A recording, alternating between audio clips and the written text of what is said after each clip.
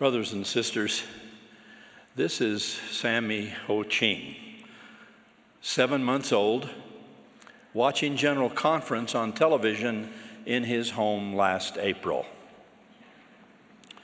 As time approached to sustain President Nelson and the other general authorities, Sammy's arms were busy holding his bottle. So he did the next best thing. Sammy gives.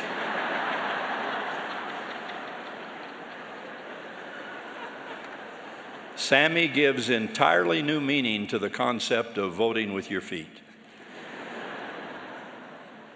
Welcome to this semi-annual conference of the Church of Jesus Christ of Latter-day Saints to set the stage for a discussion of the meaning of these twice a year gatherings, I invoke this scene from Luke's New Testament account.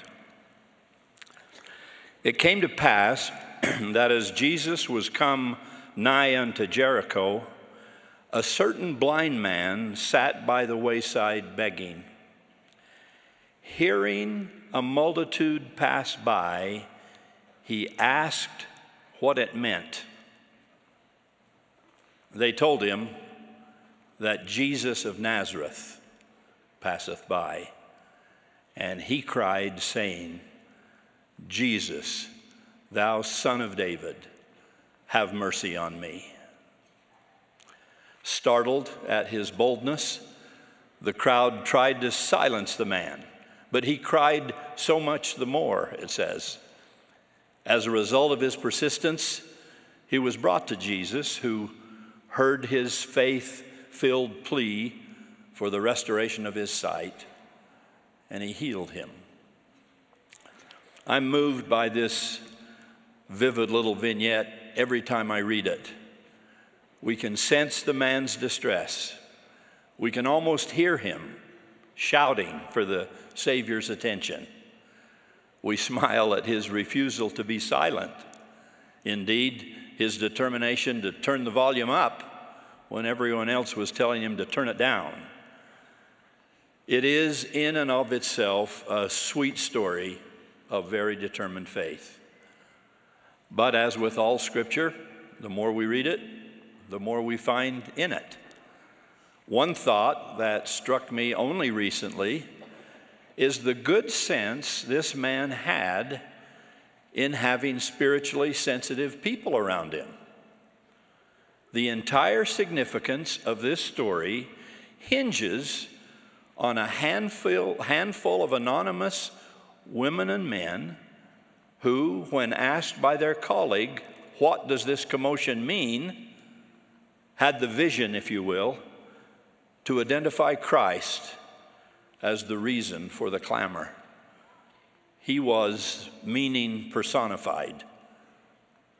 There's a lesson in this little exchange for all of us. In matters of faith and conviction, it helps to direct, to direct your inquiry toward those who actually have some. Can the blind lead the blind? Jesus once asked. If so, shall they not both fall into the ditch?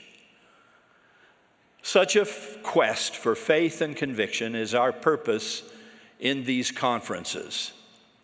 And by joining with us today, you'll realize that this search is a broadly shared endeavor. Look around you. Here on these grounds, you see families of all sizes coming from every direction. Old friends embrace in joyful reunion.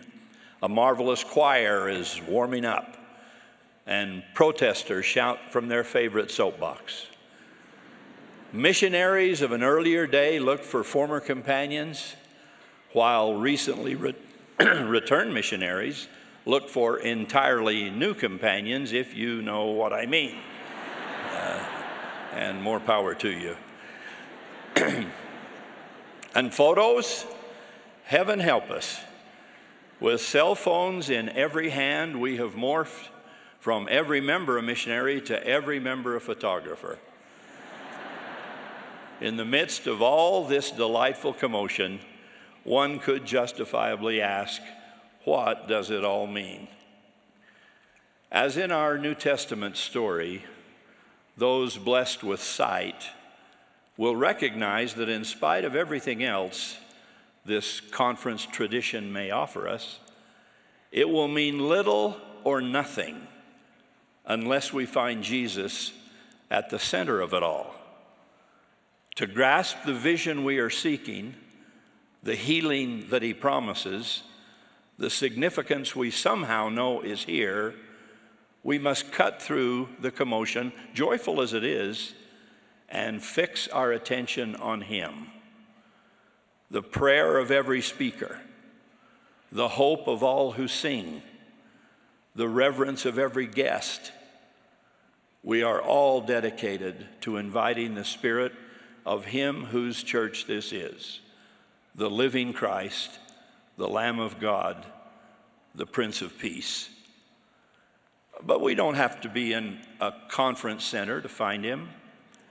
When a child reads the Book of Mormon for the first time and is enamored with Abinadi's courage or the march of 2,000 stripling warriors, we can gently add that Jesus is the omnipresent central figure in this marvelous chronicle, standing like a colossus over virtually every page of it and providing the link to all of the other faith promoting figures in it. Likewise, when a friend is learning about our faith, she or he can be a bit overwhelmed by some of the unique elements and unfamiliar vocabulary of our religious practice, dietary restrictions, self reliance supplies, pioneer treks, digitized family trees, with an untold number of stake centers where some have undoubtedly expected to be served a fine charbroiled sirloin, medium rare. So, as our new friends experience a multitude of new sights and sounds, we must point past the hustle and bustle and concentrate them on the meaning of it all, on the beating heart of the eternal gospel, the love of heavenly parents, the atoning gift of a divine Son the comforting guidance of the Holy Ghost, the latter day restoration of all these truths, and so much more. when one goes to the Holy Temple for the first time, he or she may be somewhat awestruck by that experience. Our job is to ensure that the sacred symbols and revealed rituals, the ceremonial clothing and the visual presentations never distract but rather point toward the Savior, whom we are there to worship.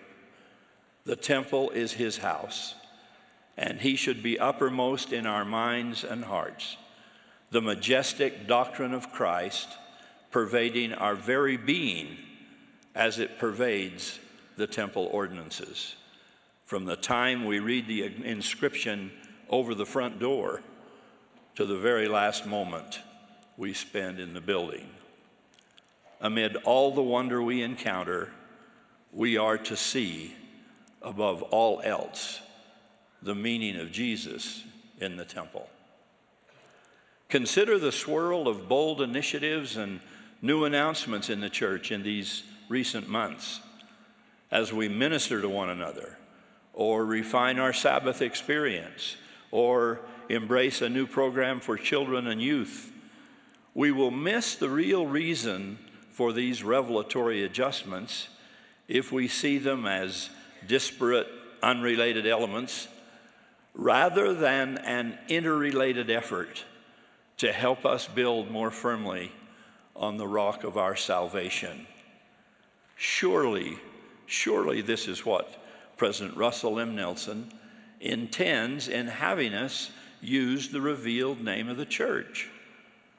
If Jesus his name, his doctrine, his example, his divinity, if he can be at the center of our worship, we will be reinforcing the great truth Alma once taught. There be many things to come, but behold, there is one thing which is of more importance than they all the Redeemer who liveth and cometh among his people. One concluding thought. Joseph Smith's 19th century frontier environment was aflame with competing crowds of Christian witnesses. But in the tumult they created, these exuberant revivalists were, ironically, obscuring the very Savior young Joseph so earnestly sought. Battling what he called darkness and confusion, he retreated to the solitude of a grove of trees where he saw and heard a more glorious witness of the Savior's centrality to the gospel than anything we've mentioned here this morning. With a gift of sight unimagined and unanticipated, Joseph beheld in vision his heavenly Father, the great God of the universe, and Jesus Christ, his perfect, only begotten Son. Then the Father set the example we've been applauding this morning. He pointed to Jesus, saying, This is my beloved Son. Hear him.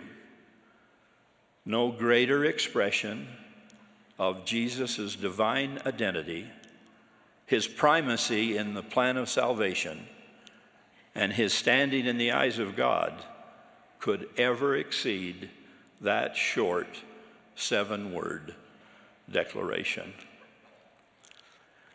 Commotion and confusion and crowds, even contention, there's plenty of all that in our world. Indeed, skeptics and the faithful still contend over this vision and virtually all else I have referred to today. In case you may be striving to see more clearly and to find meaning in the midst of a multitude of opinions, I point you toward that same Jesus and bear apostolic witness of Joseph Smith's experience, coming as it did some 1800 years after our blind friend received his sight on the ancient Jericho road.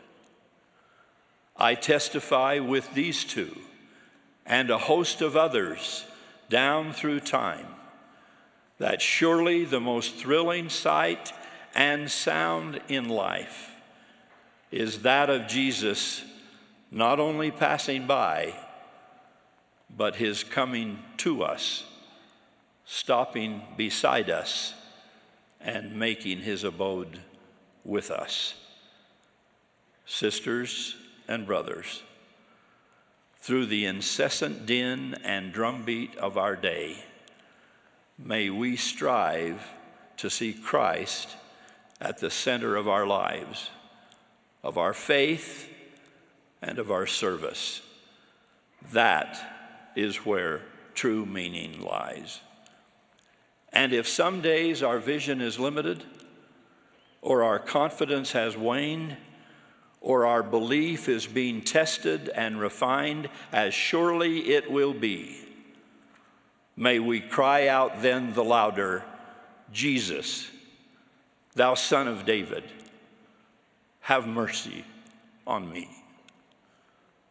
I promise with apostolic fervor and prophetic conviction that he will hear you and will say, soon or late, Receive thy sight, thy faith hath saved thee. Welcome to General Conference in the name of Jesus Christ. Amen.